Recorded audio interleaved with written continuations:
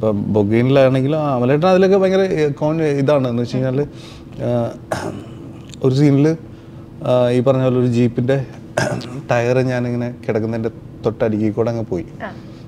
അത് ശരിക്കും അത് എല്ലാവർക്കും അത് ആ ജീപ്പ് മറഞ്ഞു കഴിയുമ്പോൾ പെട്ടെന്ന് ക്യാമറ ആംഗിളിൽ നോക്കുമ്പോൾ ആ ജീപ്പ് എതിരെ പോയേ അവിടെ ഞാൻ കിടപ്പുണ്ടായിരുന്നല്ലോ എന്നുള്ള രീതിയിലാണ് ക്രൂ കാണുള്ളൂ അപ്പോൾ കാണാൻ പറ്റില്ല എന്റെ തൊട്ടടുത്ത് കൂടെ പോയത് ഇങ്ങനെ.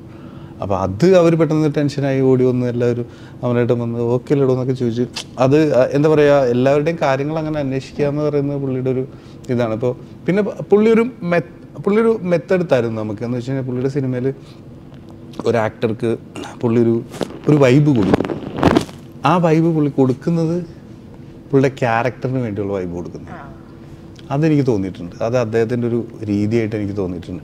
ഇപ്പോൾ വരത്തന്റെ സെറ്റിൽ തന്നെ ജോസി ചേട്ടായി എന്ന് ചേട്ടാ അമലേട്ടൻ വിളിക്കുകയുള്ളൂ സി എന്നെ ജോസി ചേട്ടായി എന്നാണ് അമലേട്ടൻ വിളിക്കുന്നത്. അത് ചേട്ടായി ഞാൻ വരെ നിന്നെ ചേട്ടായി എന്ന് വിളിച്ചത്. നീ നെഗളിച്ചോ എന്നുള്ളതാണ് അതിന്റെ ആ പവറാണ് തരുന്നത്. മനസ്സിലായോ?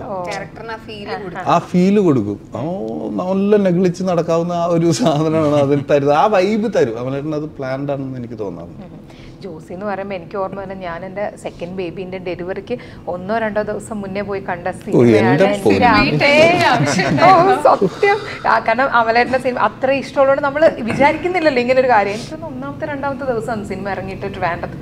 ഓ ഞാൻ പേടിച്ചെന്റെ ഈ മനുഷ്യനെ ഇഞ്ചിഞ്ചായിട്ട് ചേച്ചി പോയിട്ടുണ്ട്. പനമ്പള്ളിയിൽ തല്ലാതിരിക്കും മനുഷ്യൻ ആ ഓ, ഇങ്ങനെ നീ എന്നെ പോക്രിത്തരടാ കാണിച്ചു സിനിമ എന്നിട്ട് പിന്നെ ആ, എനിക്കും ഓക്കേ. തോന്നിയിട്ടുണ്ട് പക്ഷെ സിനിമയിലാ വിഷമം. ആ, ആ, മാറുമല്ലേ ആ, ഇത് മാറും. ശരിക്കും ഈ മനുഷ്യനെ കുറിച്ച് പറയല ഐശ്വര്യ ഇപ്പൊ ഇറങ്ങിയ ലെവൽ ക്രൂസ്. എന്താ അഭിനയം ചെയ്തിരിക്കുന്നത്? അതുപോലെ വരത്തൻ അഞ്ചാം പതിന് ശരിക്കും ഇത്ര ഒരു ഒറിജിനാലിറ്റി എവിടെ നിന്ന് വരുന്നത് അങ്ങനെ ഒന്നും ഇത്ര ഒറിജിനാലിറ്റി സൈക്കോ ആയിട്ട്? നിങ്ങൾക്ക് എങ്ങനെ പറ്റുന്നു അയ്യോ ബേസിക്കലി ശരിക്കും അത് പറഞ്ഞിട്ട് പോയാ മതി പറയും അറിയില്ല അത് അത് അതെ അങ്ങനെ സത്യമായിട്ട് എനിക്ക് അറിയില്ല സത്യമായിട്ട് അറിയില്ല. അത് എനിക്ക് ജീവിക്കുകയാണ് ഐശ്വര്യ. ലെവൽ ക്രോസ് കണ്ടില്ലല്ലോ?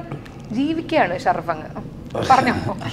അല്ല ഞാൻ പറഞ്ഞ ചിലപ്പോൾ ഈ കുറേ സിനിമകളിൽ കണ്ട സിനിമകളിൽ നിന്നോ അല്ലെങ്കിൽ കുറേ വായിച്ചതിൽ നിന്ന് നമ്മൾ നമ്മൾക്കൊരു ബുക്ക് വായിക്കുമ്പോൾ കിട്ടുന്ന ഭാവന ഉണ്ടല്ലോ.